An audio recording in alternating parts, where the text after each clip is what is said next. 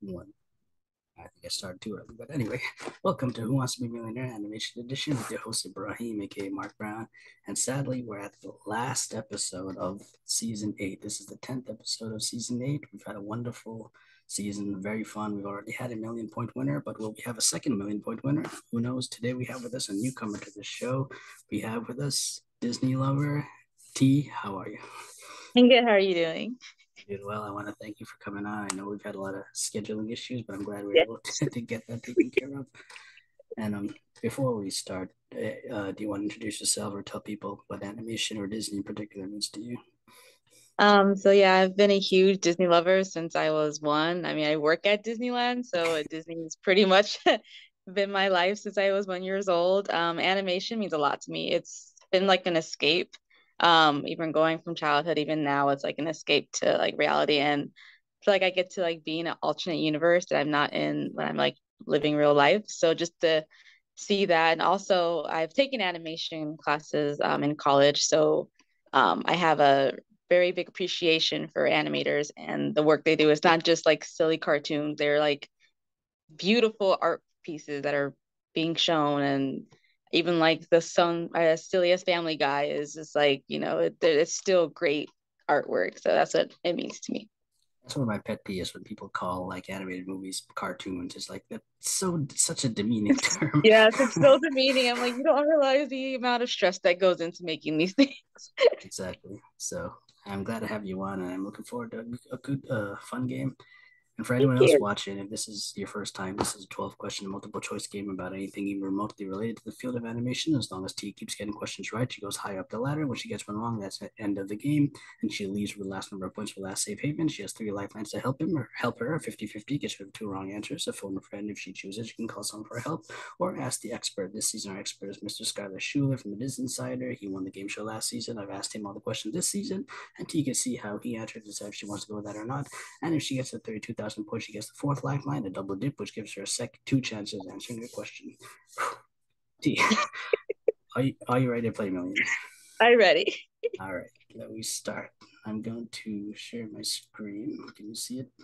Okay. Let me know when you see it. Mm, okay, I see it. There we go. And I lost my cursor. There we go. Again, this your lateral points. Remember, the yellow ones are your benchmarks. Once you get to those, you can't lose them no matter what.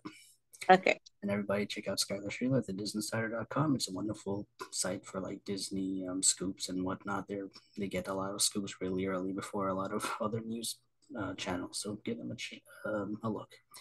T, let's start. 500 okay. points. Don't, you know, don't be worried. Take your time and we'll start off easy. What animal does the Incan Emperor Kuzco transform into in the animated 2000 Disney canon film, The Emperor's New Groove? This is a crocodile, a polar bear, a llama, or a cheetah. C, llama, final answer. You knew that right off the bat. Is it correct? Your answer is correct. hey, thank you. Are you an Emperor's New Groove fan? Huh? Are you a fan of Emperor's New Groove? Yes, I do think it is an underrated Disney movie. it, it's definitely it's it's it's like nonstop laughs, like from the beginning to the end. Like it's probably the most comedic Disney movie, I think. It is definitely. I haven't seen it as much as I as others, but it you know I, I do enjoy it when I see it, especially Kronk. Kronk's my favorite. Kronk sells Kronk sells it.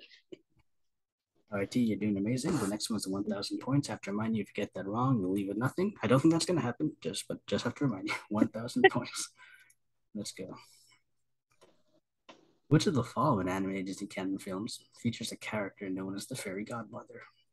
Snow White and the Seven Dwarfs, Cinderella, Sleeping Beauty, or The Little Mermaid? B. Cinderella. Final answer. Maybe these were too easy, but your answer is correct. Congratulations, you have a thousand points no matter what you do today. Are you did you see the remake of this, the remake Disney did with uh what's her name Lily James as Cinderella? I have not actually. It's like I think the one that remake I have not seen. I just haven't got around to watching it. Like I've seen like bits and pieces, but like from beginning to end, I haven't seen it. Are you a fan of the remakes in general, or do you prefer them not to touch them? Um, I try not to compare the animated versions and the live action ones, but you know, nothing beats the animated ones. I- am just hit or miss, but some of the remakes Disney makes just at a point they have to stop. Yeah. Eventually they'll run out, right? But that's what I keep telling myself. But no, they keep coming. So no, they keep coming know. up with more. Soon we'll have the live action. I don't know, um, the Great Mouse Detective with real mice. So please no. please no, Disney. You heard it here first. Okay, T, you're doing wonderful, and you have all your lifelines still. Let's keep going. Okay. Two, 2000. Which character is stolen by Big Al in the animated 1999 Pixar film Toy Story 2? Is Woody, Mr. Potato Head, Slinky Dog, or Rex? A Woody final answer. You're just rolling through these. Your answer is correct. It's one of my favorite Pixar movies. Oh, really? Is this your favorite Toy Story film? It is. Okay. Toy Story 2. I mean, Toy Story 1's really funny, but Toy Story 2 is just, it's so, watching it as an adult is glorious. I know, I know a lot of people who say that. Um, like from this is probably an un, unpopular opinion, but for me, this is my least favorite Toy Story movie. Yeah, what about your one? I like it, but um, I don't know. I like the others better. I, I go Toy Story three, then Toy Story, then Toy Story four, and then this one. Really? Yeah, I, I don't know. I, was, I never got into this movie. Like I like it. I don't dislike it, but it was never. That's like, your favorite one. Exactly, but it's it's better than a lot of movies that come out now. I'll give you that. yeah, that's true. I think one of the most um, satisfying things in this movie is when Geri, um, the uh, the guy who's like polishing up when he comes in and you know gives him that whole makeover. That's yeah, so satisfying to watch. It's like beginning ASMR just on the TV. Exactly. Before that was a thing. yeah. all right, T. You're doing amazing. You still have all your lifelines. Five thousand. Which of the following is not one of the gifts given to a member of the Madrigal family in the animated 2021 Disney canon film Encanto, which is not. Is it super strength, shapeshifting, flight, or ability to communicate with animals? I'm going to go with C, flight. Final answer. Your answer is correct. Encanto, I I like this movie a lot. I it me too. It's probably, in my opinion, I think it's the best Disney movie since Moana. Like between those two, I don't think I loved anything in between them. Yeah. Like Frozen Two was okay. And, I prefer Frozen Two over Frozen. yeah. Uh, I, don't, I don't know how I feel about Frozen Two over Frozen, but I prefer Into the Unknown over Let It Go. I will guess. hundred percent agree. I, I find myself bel- belting that song all the time, but Let It Go just goes away in my mind. I'm over Let It Go. Make it stop. Make it stop. Make it Make stop. It stop. That's the remake we need. But the in, remake. Encanto, I like what they did with it. I think my only complaint with it, I feel there were too many characters, and I feel that kind yeah. of like the focus between all of them kind of got unevenly split. Yeah, that way was a lot of like backstories that we're all trying to do. Yeah, like like some I can't I can't even remember like you know like um I forget the, the dad in the back here. I forget his name, but like I don't remember anything about his character besides that he gets stung by bees. That's about it. Yeah, I don't remember his name, but I forgot the mom's name too. But yeah, I remember so, everyone else's names. exactly, and I do love the songs. I, my favorite song is "Surface Pressure." Yeah, that's my favorite. But sister was like, "That's your favorite song, right?" And I was like, "Sure, why?" Because like you're the oldest sister, so you must relate. I'm like, I feel it. Okay, yeah. yeah. So, so you have siblings. Yeah, I'm, I'm an only yeah. child, so I don't okay. relate. But, but uh, I'm sure, I'm sure you guys could relate to this. yeah, I'm the oldest daughter, so out of three girls. So yeah, when that song came out, I was like, yeah, I feel it. nice. All right, T, you're doing amazing. You're three away from the next benchmark. You still have all your lifelines. Let's keep okay. going. Ten thousand. Which character does Horton the elephant speak to in the animated 2008 Blue Sky Studios film, Horton Hears a Who? Does he speak to the minister of Whoville? Does he speak to the Earl of Whoville?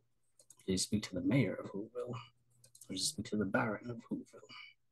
Oh my goodness, it's been so long since I've seen this movie. All right, take, um, your, take your um, time, and you have lifelines if you need them. But you you see this movie though? I, I, I have. I used my sister used to watch it a lot, like okay. when it first came out, but I have not seen it in like years. it's been so long. I'm. You can ask Skylar. You could take a 50 50. Hmm. Are, you, are you leaning towards anything though? So you think strikeout yes, it might be that. I'm thinking mayor. Okay. But I'm not sure. But I'm gonna just go with my gut and say see the mayor of Whoville. Final answer. Ouch! You went with your gut without using a lifeline. How sure are you? Let's see. Is that enough? T. You Probably this, not. you get this wrong. That's the end of the game. You get it right. You keep going. Your answer is correct. Oh wow! I was really. I was like, it has to be one of those. I couldn't remember. Some clearly something was in your mind, so you remember that. So congratulations. My little sister watching it five million times. I should go thank her after this. yeah, she's like, you helped me win ten thousand points. What are you talking about? She's like, what? yeah, this was the mayor of Whoville. I think Steve Carell voiced him in this movie, and I I love the uh, Dr. Seuss books. And mm-hmm. my problem with the movies, I feel, when you try to take the Dr. Seuss books, which are like maybe 20 pages and you try to make them into an hour and a half movie or two hour long movie it's a lot of padding but I, I think I think this is one of the better ones they did. But like you know, Mike Myers, The Cat in the Hat, or yeah, Benedict Cumberbatch's The Grinch was okay, but I don't know. It, I prefer them to be half an hour shorts instead. The half an hour shorts, yes. Those were the best. But I still love The Grinch. The Grinch makes me happy. Well, the Jim Carrey one, that one's my oh, favorite. Great. I didn't grow up with it, so I don't have nostalgia for it. But um, it. Uh, I'm glad you enjoyed. okay, T, you you saved your lifelines. You're two away from the next benchmark. Can we get you there? Twenty thousand. Hopefully. Hans Conried voices Captain Hook in the animated 1953 Disney canon film Peter Pan, along with which other character? Does he voice Mr. Smee? Oh. Does he voice the Native American chief? Does he voice Peter Pan? Or does he voice Mr. Darling? Oh my gosh. Take your time again. Let me think. Hmm. You have lifelines if you need. Yeah, I'm probably gonna use a lifeline on this one. Think I'll do the 50 50. You want to do 50 50? Instead of asking Skylar, he's a big Disney guy, but you want to go 50 50? Let's do that. Get rid of two wrong answers Peter Pan or Mr. Darling. Okay. I'm you gonna go. The second with... line if you want, or take a guess. I'm gonna go with D, Mr. Darling. Final answer. You don't sound very sure of yourself, but you said final answer, so I have to go with it. D, your answer is correct. Congratulations. Wow. Yeah, you don't sound so sure. No. but hey, you, you got that one and you used it. I knew it wasn't Peter Pan, so there we go. That helped. Yeah, because in um in in the productions of Peter Pan on stage, there's like six um, traditions that they always do. And when Disney made the animated movie, he broke five of them, but he kept one. And this was the one he kept. And this was the tradition of whoever plays Wendy's father, Mr. Darling, also plays Mr. Hook, uh, Captain Hook. Yeah. So he did the same thing here. The voice of Mr. Darling is the same voice as Captain Hook. So that's cool. You'll never forget that as long as you live. you lost a lifeline, but you have two, two more, and the next one thirty-two thousand. If you get that right, you will have thirty-two thousand no matter what, and you will get that extra lifeline, the double dip. So okay. let's see what it is. Thirty-two thousand points.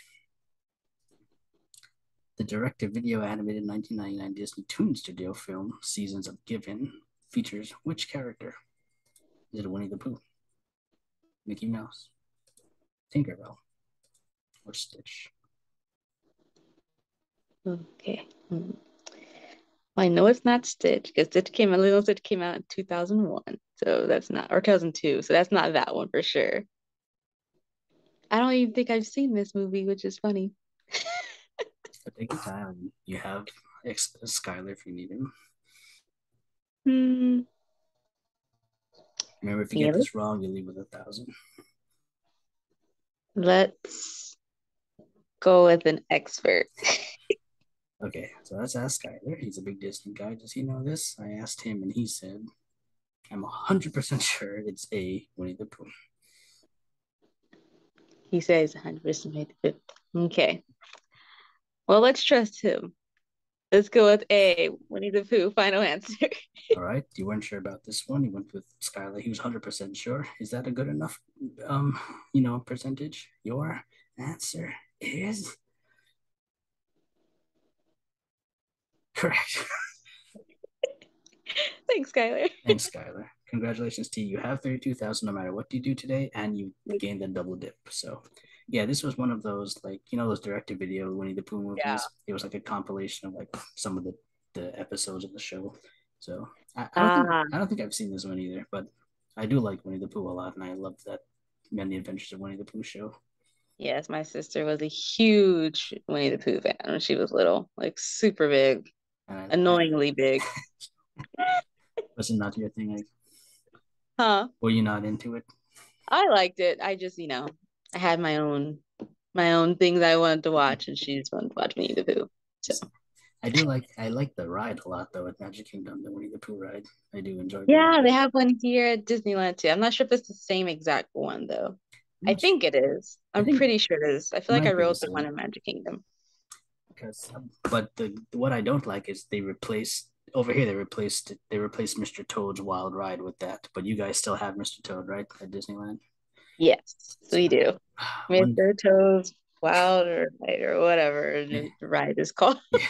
Next next year, I'm planning to go to make a Disneyland trip because I've never been because I I live in Orlando. There, yeah. So one day I will I will have to visit the park that Walt actually lived and walked through. exactly, not not the Orlando park. That's the that's the bragging rights we have. We're like, oh well, did you did Walt walk through your park? No, okay, we're better. No, yeah, but we got a bigger castle. Oh, take that. oh yeah, well, our creator was the creator was oh, still uh, there. You, you guys have so many cool stuff. You have Mr. Toad, which we don't have. You have Indiana mm-hmm. Jones ride, which we don't have. You have a mm-hmm. Roger Rabbit ride, which we don't have. You have a Pinocchio ride, I think, right? We do have Pinocchio. We'll yeah. see if Roger Rabbit still stays because Toontown is currently closed down and they oh, really? just tore down a bunch of stuff. So we'll see what to- if Roger oh. Rabbit's still there. Oh, please stay until next year until I can go on it. then... I hope so. I loved Roger Rabbit. And Alice in Wonderland, right? There's Alice in Wonderland ride. Yes, and they just... actually did like an update for it, so it looks a lot better back than from back when I was little. Okay, yeah, we just have the teacups. We don't have the ride. and um, yeah, and Monsters Inc., right? You have Monsters Inc. ride? Yes, we do in California Adventure. I'm hoping they tear that down though for a better ride. is, is it it's not good? no, it's I I was there the day it opened. Like I went on it. It was it's fun. It's just Hollywood Land and California Adventure just needs to be torn down and redone something. Since Avengers Campus opened, it's kind of like this limbo land. It's just like just tear it down and fix it. So you heard that Put first, Disney. Listen to T. Hire her for this project. okay. I wish. All right, T, you're five away from the million. We want to get you there. You have two lifelines, one Skylar and one double dip, but let's see okay. how far we can go. 64,000. Let's see. Which of the following celebrities did not make an appearance in the animated 1999 Disney canon film Fantasia 2000? Did not make an appearance. John Goodman, Steve Martin, James Earl Jones, or Penn and Teller. Mm, I should know this. Take your time. Mm-hmm. Let's see.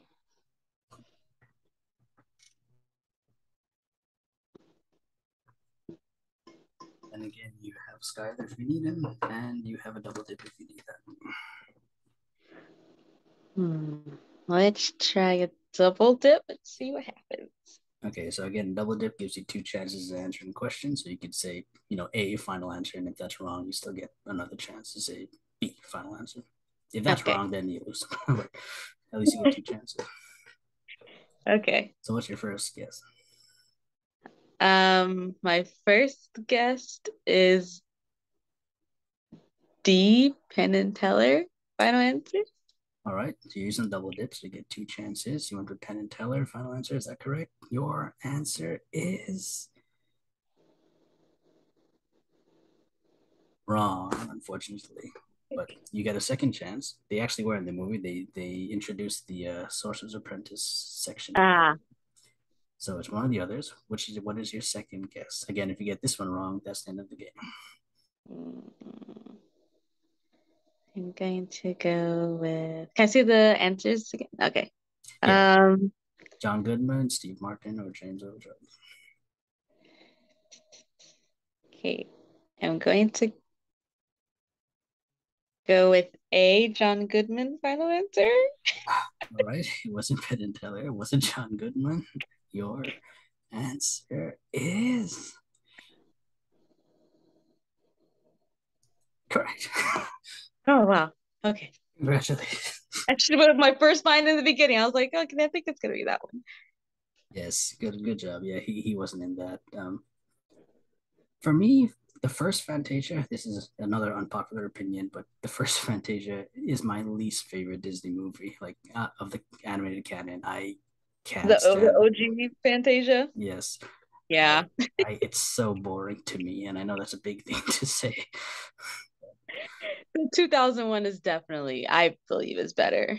That's the one I watched. I'm glad, I'm glad you agree with me on that.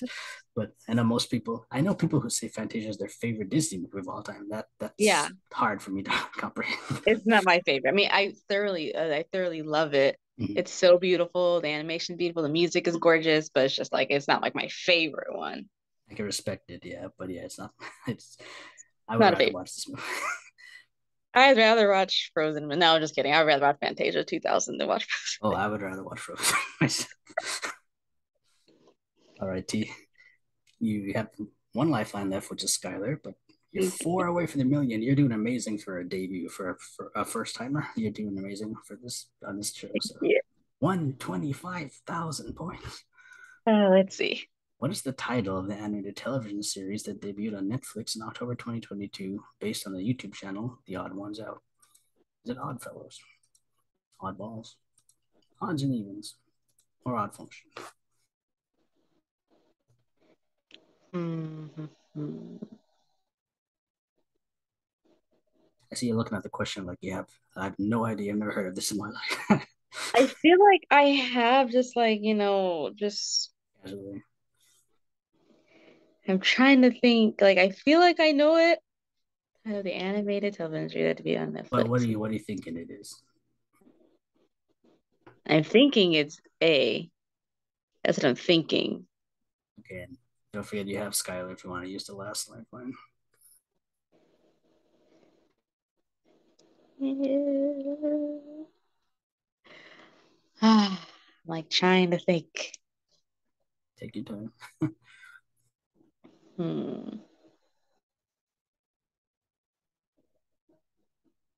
I'm going off, ironically, I'm going off with the ones I would think sounds like a better TV show. nice. You know, see, most animation, they have like some odd, weird. Mm-hmm. This one sounds cool. Yeah, some sort of hook, some cat to catch the kids with. yes. Mm. Okay, I may have to phone an expert. You want to use your last lifeline? Sadly, yes. well, okay. No, sadly, that's what they're for. So let's ask Skylar. It's not Disney related, but did he know it? He said, This one's tough, but I'm 50% sure it's B oddballs. 50%. So he's 50% sure B. Oh, that enough Skylar. You're not helping me out, Skylar. um, Hmm. I don't know why I keep leaning towards A. I don't know. Again, like I said, there's no round two, so it doesn't make sense to walk away. So it's better to just take a guess. But what are you gonna guess? Is the question. I don't know. Let me ask. Let me ask Grogu and see what he says. You know, just need maybe the maybe force is not with me. Let's see. I'm going Grogu to. says, "Wait for season three. Please, that's all I'm waiting for. It's taking forever.